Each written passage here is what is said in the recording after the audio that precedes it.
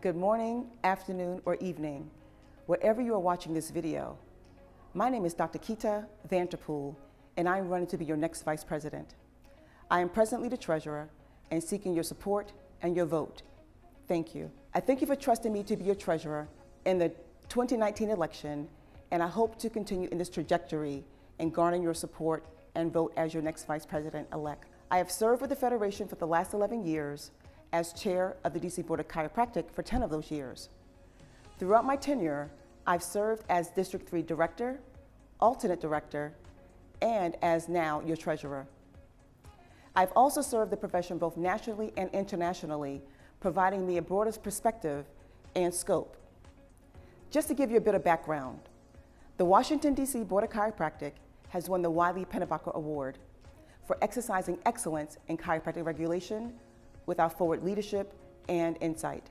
AJ Gohill, our board attorney, is responsible for creating CBLAC, the Chiropractic Board Legal Advisories Committee. It provides a platform for attorneys to participate and share ideas of what is happening interjurisdictionally. Our board is also responsible for creating a comprehensive state survey of chiropractic assistants' scope of practice, both of which are posted on CBLAC's website for both attorneys and other staff to review.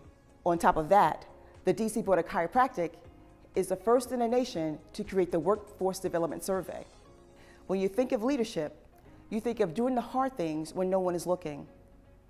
When you think of leadership, you think of doing the right thing when no one is looking. So let me share with you my goals as Vice President of the Federation.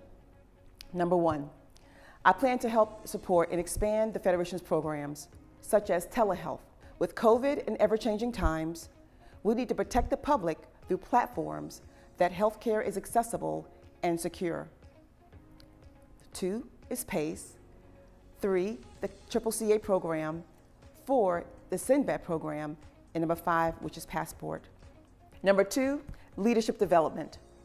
With so many students becoming licensed professionals, there needs to be a bridge to gap the doctor to regulation, providing a platform to mitigate potential legal pitfalls. It is also imperative that a regulatory board has training as to mitigate board errors and enforce accountability for bad behavior. And number three, increase our international presence. CIN-BAD is the only chiropractic board repository of disciplinary actions. Information is gathered from both the state and DHHS. Expanding our reach internationally will catch the bad guys before they do any more harm to both the public here and abroad. There is so much to talk about of my goals and vision for the Federation, but my time is limited.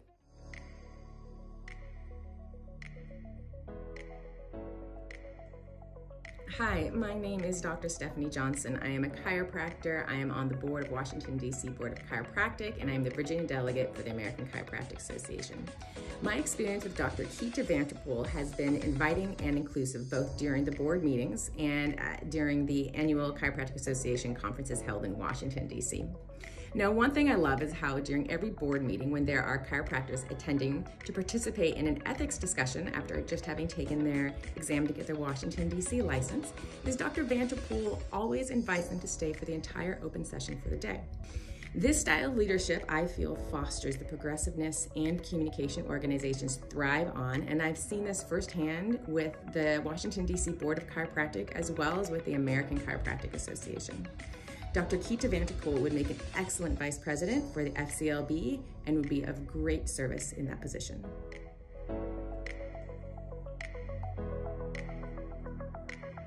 Hi, my name is Dr. Lu. I feel incredibly lucky to go through my preceptorship and my first year of graduation with Dr. Vanterpool's mentoring and guidance.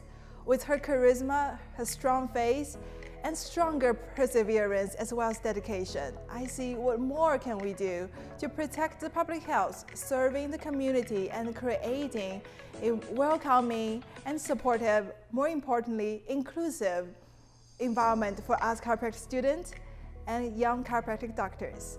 Dr. V, I think you will be a great VP and thank you so much for continuously being a great role model for us. In closing, I want to thank you in advance for your support and vote to become your next Vice President of the Federation for Chiropractic Licensing Boards. Thank you so much, and have a great day.